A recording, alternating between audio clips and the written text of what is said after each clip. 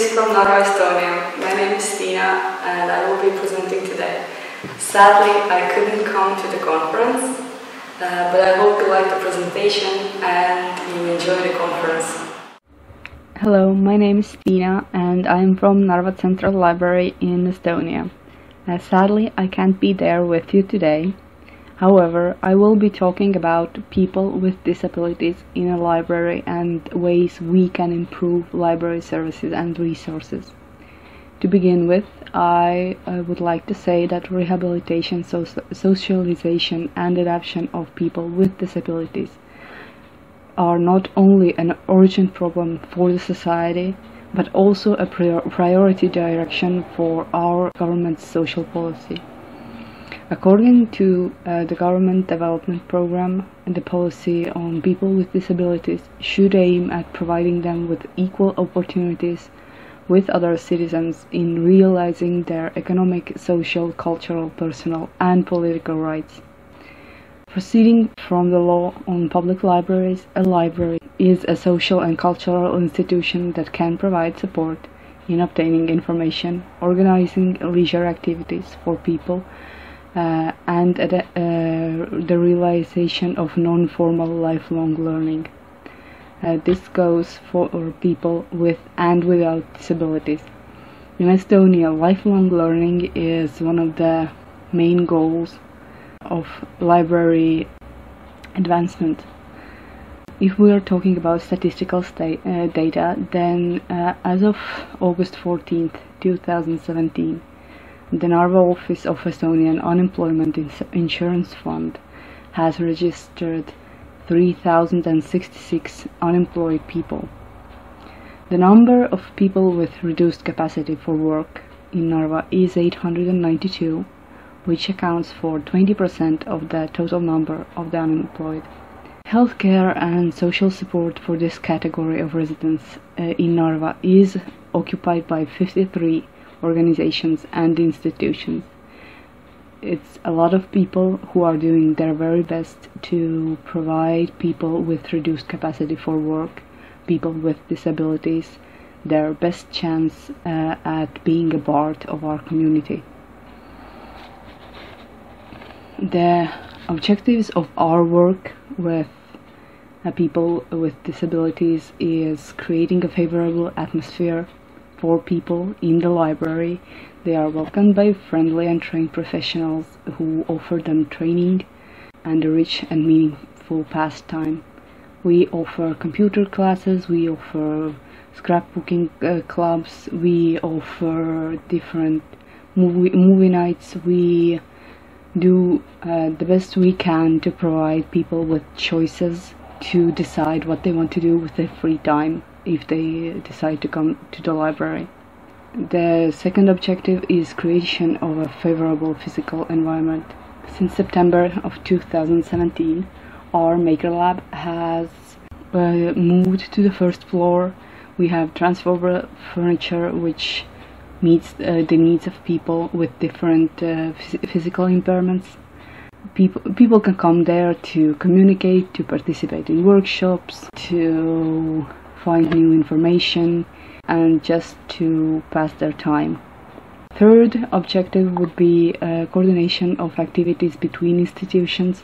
The initiative for holding various events does, doesn't come from only from partners. We go out to institutions and offer our services. We do home care, which doesn't include just bringing books to a, a reader, but also we go to the home of care for people with disabilities. We have performances there, we have read aloud, we come to get people engaged in the library work. We also work with Russian Orthodox Church in the city. Uh, we have a charity event every Christmas that uh, not only the library Uh, works in, but also the community around us participates and helps us to gather uh, presents for the people in the home with the Orthodox Church. We also work with social department. They help us find our target group and we provide different services through the social department. Our partners, as you can see, we work a lot with different government departments. We also work with schools and kindergartens.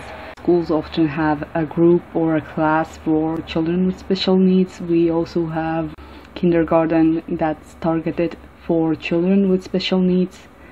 Uh, we uh, work with non-profit organizations who work uh, in socialization and adaptation of the unemployed. We also work with different organizations throughout the country. One of the biggest ones is Society of the Blind and the Estonian uh, Library for uh, Visually Impaired. We have three main groups of users with who we work on topic of disabilities and limited access. It's the people with disabilities themselves, parents of children with disabilities, and different specialists who are associated with people with disabilities. They can be social workers, they can be teachers, it can be representative of the non-profit organization. And the fourth group, which isn't a main group, is the librarians themselves. We have classes for librarians on how to work with people with disabilities. This usually is more targeted on people with uh, mental disabilities because uh, the group needs more special attention and librarians uh, need to know how to act and how to work with them. The forms of work with people with disabilities uh, we have excursions where we introduce the library, we introduce the services we provide. We have different workshops. Uh, we do 3D printing, we do robotics, we do scrapbooking, we do basket weaving. We try to provide as wide a variety of workshops as we can. We have different cognitive activities we do a lot of read alouds and we also provide computer literacy courses uh, which uh, have been very popular uh, among the people, among the organizations who work with people with disabilities. One of the things we provide, especially for children uh, who may be hyperactive or you know with uh, speech thera therapy problems, is reading with uh, with book dogs and this has turned out to be very popular among not only children with disabilities but also children without disabilities because in the stage where children are just learning to read the book dogs uh, turn out to be the best choice because they uh, don't try to help the child along. And so the child can read at its own pace and this provides them with a freedom to come and try and come and try again and again again uh, until they feel that they are uh, confident in their reading. On to the main part of our talk, how to improve our services. The most important way of improving library services for people with disabilities is awareness. The library should do their best to see the people with disabilities around them and what type of services they might need. Is there a need for online audiobook repository? Or maybe after hours workshops? Provide the right service to the right reader at the right time. That should be the library motto. It still stands if we're talking about services for people with disabilities. Do your research. See who you have and what they need. The second way is cooperation. Don't be afraid to work with social departments, with other libraries. See who around you works with people with disabilities. What services do they provide? How could you cooperate with them? Don't be afraid to invite organizations into the library, but also to go out and introduce what you do. Uh, one of our main jobs is still providing literature. Providing literature with, to people with visual disabilities can be very tricky if you work in a small library and even in some bigger ones. The solution we found is book ex- exchange with other libraries. It's a way to have more books to offer your readers and at the same time help other libraries to provide books for their readers. The role of the library is changing, but that doesn't mean one library should do everything on their own. Don't be afraid to find people who can help you and who you can help in exchange. About resources. Use the resources you have, but have the resources you need. Once again, cooperation is a wonderful thing. Find organizations who provide audiobooks or tactile books, who offer workshops, who can donate paper or pens. Think creatively about cooperation find things they might want in exchange. Maybe it's to use your library room for a meeting. Maybe it's help from a librarian to make a PowerPoint. Also, don't be afraid to use online resources. A lot of audiobooks can be found online.